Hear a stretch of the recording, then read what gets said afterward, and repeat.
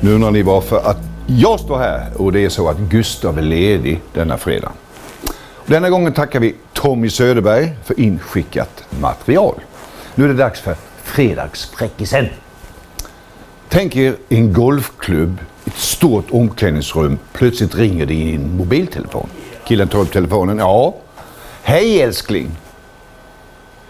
Jag är på NK och har hittat en sån skinnjacka så att det är inte sant. Endast 9000.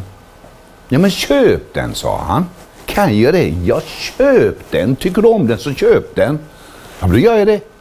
Sen ringde de från Hedin Bil och sa den där massan vi var och tittade på för 955 000, den har de gått ner till 920. Vad säger du om det? Bjud 900 000 för den. Tar han inte det, ge 920. Vi, vi vill ju ha bilen. Ja, men då gör jag det. Sen ringde mäklaren också. Du vet det där huset nere på Trottaberg för 9,4 miljoner. Han ringde idag och sa vi får det för 9,2. Ja, det är samma där, sa han. Bjud 900 eller 9 miljoner. Tar han inte det, ge 9,2. Det spelar väl ingen roll. Är det säkert? Ja. Okej, då gör jag det. Hej då älskling. Hej då.